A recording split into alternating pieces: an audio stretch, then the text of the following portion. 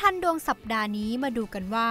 ดวงการงานของคนบันไดจะมีผู้ใหญ่คอยอุปถัมภ์ค้ำชู มีเพื่อนร่วมงานคอยช่วยเหลือทำให้การงานราบรื่นไปได้ด้วยดี และดวงสุขภาพของคนบันไดที่จะต้องระวังโรคประจำตัวกำเริบ ไม่รอช้าไปฟังคำตอบจากหมอต้องจิตกันเลยค่ะ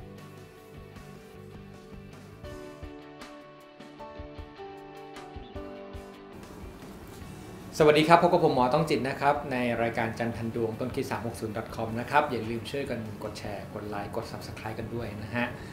เอาละครับ เริ่มดูดวงคนที่เกิดวันจันทร์กันเลย การงานการเรียนของคนที่เกิดวันจันทร์นะครับ ต้องบอกว่าช่วงนี้เนี่ยค่อนข้างจะมีปัญหาเยอะนิดนึงนะครับ ในเรื่องของการทำงานไม่ทัน แล้วก็เครียดงานสะสมติดค้างนะครับ หรือมีความเครียดสะสมในเรื่องงานว่าจะแก้ไขปัญหามันยังไงดี ก็บอกได้เลยว่าเป็นคนมีความเครียดในช่วงนี้นั่นแหละนะฮะก็ลองหาทางออกดูว่าเราสามารถผ่อนคลายตัวเองได้ยังไงได้บ้าง ส่วนในเรื่องของการเงินนะครับ ก็เขาเรียกว่ามันมีเกณฑ์การใช้จ่ายออกบ้าง ในเรื่องของการเช่นบางคนซื้อบ้านตกแต่งบ้านซื้อรถตกแต่งรถ หรือซื้อเครื่องประดับของมีค่า แต่ว่าในเรื่องของการหมุนเงินก็ยังถือว่าทันอยู่ ยังถือว่าการเงินพอพอพอใช้จ่ายได้อยู่นะครับ เรื่องของความรักสองถ้วยนะครับก็มีข่าวดีในหลาย ๆ คู่นะครับบางคนโสดก็จะได้แฟนหรือบางคนเนี่ยทะเลาะกับแฟนก็คืนดีกันหรือบางคนก็อาจจะได้กลับมาอยู่ใกล้ชิดกันมากขึ้น หลังจากที่งานเยอะด้วยกันทั้งคู่ก็เป็นไปได้นะครับ ส่วนเรื่องของสุขภาพนี้ต้องระวัง อุบัติเหตุที่ทำให้มือไม้เป็นรอยซ้น หรือว่ามีปัญหาเรื่องเกี่ยวกับกระดูกเนี้ยต้องระวังสำหรับคนที่เกิดวันจันทร์ วันอังคารครับการงานการเรียนของคนที่เกิดวันอังคาร ก็ต้องบอกว่าช่วงนี้เป็นช่วงลำบากคนที่เกิดวันอังคารเหมือนกันนะครับมันเหมือนกับงานสะสมค้างๆยุ่งไปหมดเลย อะไรที่คาดหวังว่าจะได้ก็อาจจะยังไม่ได้ในช่วงนี้นะครับเพราะฉะนั้นก็ค่อยๆเป็นค่อย ๆ ไป ส่วนเรื่องของการเงินเนี่ยช่วงนี้ติดขัดยิ่งแย่เลยนะครับอาจจะเป็นเพราะว่าช่วงปีใหม่ใช้เงินเยอะ แล้วเดี๋ยวอาจจะเข้าตุจีนต้องเตรียมเงินอ่างเปาให้พ่อแม่หรือเปล่า หรือบางคนก็ใช้จ่ายเกินตัวอยู่แล้วนะครับส่วนเรื่องของความรักเนี่ยให้ระวังเรื่องมือที่สามเล็กๆนะฮะ คือมือที่3ในที่นี้หมายความว่าแฟนเก่ากลับมาคุยกันเกิดการเข้าใจผิด หรือเราแต่เราก็แต่คนที่เกิดวันอังคารก็เต็มใจช่วยหรือรู้สึกว่าคุยแล้วมีความสุขนะ อันนี้ผมก็ไม่รู้ว่ามันเป็นมือที่ 3 ประเภทไหน แต่ให้ระวังไว้บ้างแล้วกันว่าจะเป็นเรื่องเป็นราวแต่ภาพรวมความรักก็ยังถือว่าดีนะครับ ส่วนสุขภาพไม่มีปัญหาอะไรเลย ภาพรวมถือว่าโอเคมากเลย มาถึงคนที่เกิดวันพุธนะครับ การงานการเรียนของคนที่เกิดวันพุธทุกอย่าง ค่อนข้างดีโดยเฉพาะคนที่ทำงานส่วนตัว หรือทำงานกับครอบครัวกงสีอะไรก็ตาม ถือว่าดีมีผลประโยชน์มีส่วนแบ่งที่ดีนะครับหลายคนเนี่ยเริ่มต้นอยากทำธุรกิจส่วนตัวทำได้ไหมทำได้ แต่ค่อยเป็นค่อยไปนะครับก็ถือว่าเด่นอยู่ แต่การเงินเนี่ยอย่างที่บอกมันผูกการงาน การลงทุนส่วนตัวต้องระวังการใช้จ่าย แล้วก็การใช้จ่ายส่วนตัวให้ระวังเงินหมุนไม่ทัน หรือว่าการถูกหยิบยืมจนทำให้เราไม่ได้รับเงินตรงนี้คืนมาใช้นะฮะ ส่วนเรื่องความรักเนี่ยอาจจะไม่ค่อยเด่นเท่าไหร่เพราะว่าในพื้นดวงความรักเนี่ยคือครึ่งๆกลางๆอยู่ห่างกันทะเลาะกันบ้างเดี๋ยวดีเดี๋ยวร้ายบ้างทุกวันเป็นลักษณะนั้น ส่วนเรื่องของสุขภาพเนี่ยในผู้ใหญ่ให้ระวังโรคประจำตัวโรคเก่ากำเริบโรคหัวใจความดันนะฮะแล้วก็พูดง่ายแล้วในคนปกติก็ให้ระวังอุบัติเหตุหรือไม่สบายกระทันหันมาถึงคนที่เกิดวันพฤหัสนะครับ การงานการเรียนก็ต้องบอกว่าช่วงนี้การงาน การเรียนเขาเรียกว่าค่อนไปในทางที่ดี อาจจะได้รับอันนี้ส่งส์จากผู้ใหญ่เมตตาคนรอบข้างช่วยเหลือเลยทำให้ทุกๆอย่างที่ที่ผ่านเข้ามาในช่วงนี้มันผ่านพ้นไปได้แบบค่อนข้างราบรื่นนะเรื่องการเงินพอใช้ได้ไม่ถึงกับดีมาก ไม่ได้ถูกหวยเลยเบอร์ แต่ว่า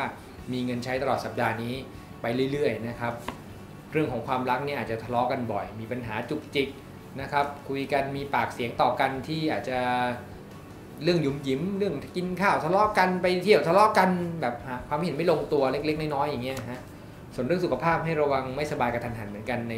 คนที่เกิดวันนี้มีเกณฑ์อย่างนั้น แล้วก็คนที่ยังไม่เคยเป็นไส้ติ่ง หรือกระเพาะหรือกรดไหลย้อนให้ระวังจะเป็นเรื่องพวกนี้ด้วยนะครับ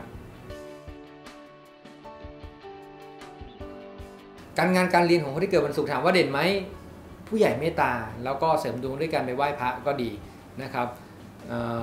ทำบุญแล้วงานจะได้ดี จิตใจดีงานก็จะดีด้วยนะครับ คืองานไม่แย่ในสัปดาห์นี้ก็งานถือว่าอยู่ตัวพอสมควรนะครับ และใครที่ทำธุรกิจส่วนตัวก็ถือว่างานดีเหมือนกันนะครับ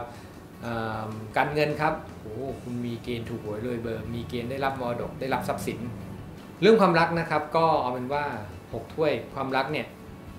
อยู่กันแบบฉันมิตรนะครับ เหมือนญาติพี่น้องก็อาจจะไม่ได้ รักกันมากหรือรักกันน้อยลง ก็เรียกว่าอยู่ตามหน้าที่ที่ดีของการเป็นแฟน หรือเป็นสามีภรรยาที่ดีนะครับ ก็ถือว่าราบรื่นครับ ส่วนสุขภาพก็ไม่ได้มีปัญหาอะไร นอกจากว่าโรคประจำตัวเล็กๆน้อยๆที่เรามีอยู่มาถึงคนที่เกิดวันเสาร์นะครับ การงานการเรียนเนี่ยคือความไม่แน่นอนในที่นี้หมายความว่า ถ้าเป็นคนที่รับงานมาเยอะเกินไปอาจจะทำไม่ทัน หรือว่างานที่คิดว่าดีอาจจะไม่ดี งานที่ไม่ได้คาดหวังอาจจะดีก็ได้ คนที่คิดว่าดีจจะไม่ดีกับเราก็ได้ เพราะฉะนั้นก็ต้องระวังในเรื่องของการทำงาน หรือการเรียนให้ดีนิดนึงนะครับในช่วงนี้ ส่วนเรื่องของการเงินเนี่ยพอใช้ได้นะครับเจ็ดถ้วยขึ้นมาก็คือ พอได้รับเงินจากหลาย ๆ ที่ทำให้ประคองในสัปดาห์นี้ได้ดี ความรักครับ ถือว่าเด่นมากนะครับในช่วงนี้ของคนที่เกิดวันเสาร์ได้รับความรักที่ดี มีเกณฑ์มีคนมารัก คนโสดมีเกณฑ์พบคู่หลาย ๆ อย่างที่ดี หรือว่าบางคนมีเกณฑ์แต่งงาน มีเกณฑ์ มีข่าวดีในครอบครัว ส่วนสุขภาพนี่ให้ระวังไม่สบายกระทันหันเลยคนวันเสาร์โดยเฉพาะผู้สูงอายุนี่มีอุบิเหตุนะฮะหาถ้าเกิดเป็นหัวใจเป็นอะไรที่เป็นเป็นความดันอยู่นี่หายาไว้ใกล้ๆตัวเลยนะครับ ซ่อนไว้ทุกที่นะครับ เพราะว่าอาจจะมีเรื่องอุบิเหตุวันอาทิตย์ครับการงานการเรียนคนที่เกิดวันอาทิตย์ต้องบอกว่างานเด่นมากครับงานถือว่าดีมากนะฮะเรียนดีนะฮะตั้งใจหน่อยก็ไม่มีปัญหา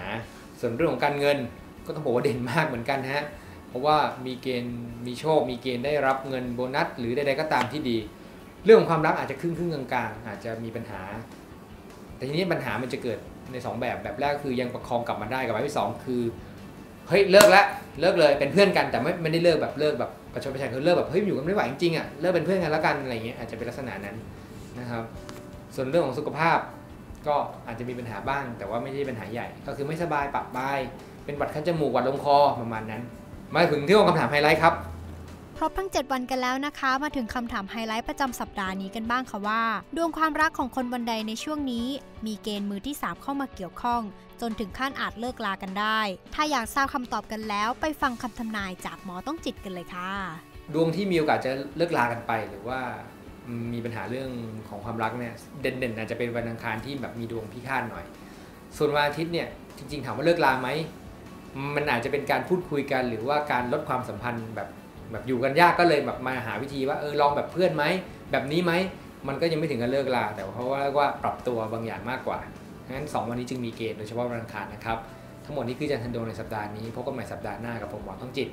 ลาไปก่อน สวัสดีครับ